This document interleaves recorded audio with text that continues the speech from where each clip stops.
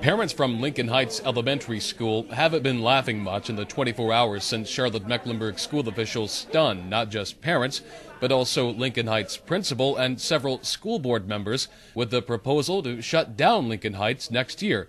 But what had them chuckling with disbelief at this breakout session at the government center was a question from a school system planner. Did they see anything positive in the Lincoln Heights proposal? Come on, quit undermining, quit undercutting us. I don't think that the school board looks out for our kids. You already know what you're going to do, and you call yourself listening and putting the stuff down. They already know what they're going to do. So why are we here?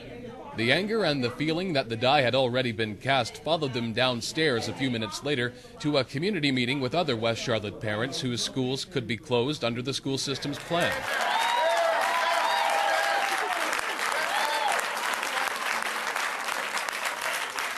We are tired of you picking on Lincoln Heights.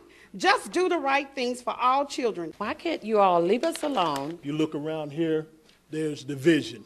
You know, if you're divided, you fall. After about an hour of overwhelmingly negative feedback, School Board Chairman Eric Davis called time.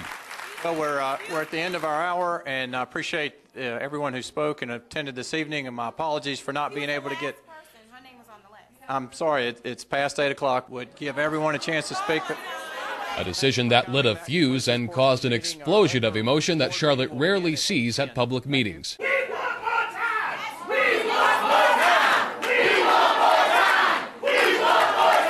Leading the charge, the Reverend Kojo Nantambu, head of the Charlotte Mecklenburg NAACP.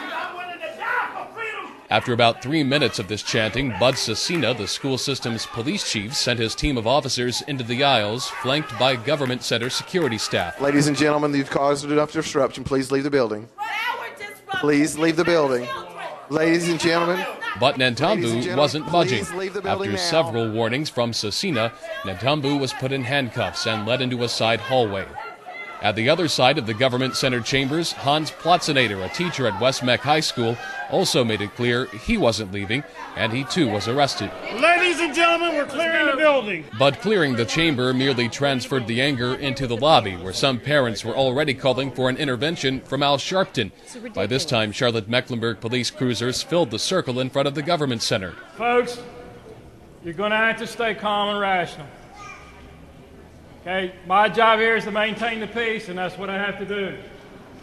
I've already got two people under arrest. Well, I don't want it. It doesn't matter. Nantambu and Platzenader were charged with second degree trespassing and released on $500 bond. Chris Miller, WBT News.